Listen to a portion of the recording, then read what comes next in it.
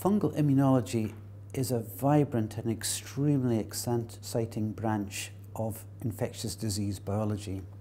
It's very complex, but it's absolutely for sure that we have to get on top of this and understand our immune responses to fungi to be able to deal with them properly in the future.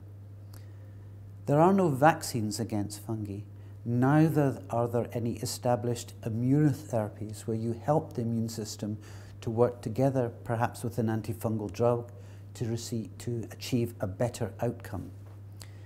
Fungi turned out to be extremely complicated in the various immune responses they induce.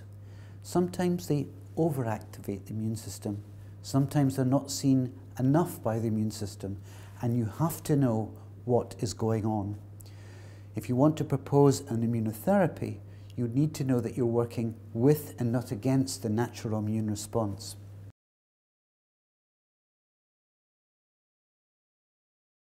I'd like to just highlight one example, which is also mentioned in the book. There's a relatively rare but nonetheless horrendous disease called chromoblastomycosis, a disease which is endemic in South America. This is a disease which infects the skin. It's desperately difficult to eradicate, often requires surgical removal, removal of large pieces of the skin and long-term therapy with drugs. One of my colleagues discovered that the reason why it was difficult to eliminate was the fungal cells in the skin were not being seen by the immune system effectively. Turns out you need to have multiple cues of the presence of the organism to kick the immune system in. And the whole immune response to this fungus was being mediated only mainly by a single immune reaction. So a hypothesis stemming from that work was, well, what if you stimulate the immune system with a second signal and then start to achieve the amplification of the immune response that you need to eradicate the fungus?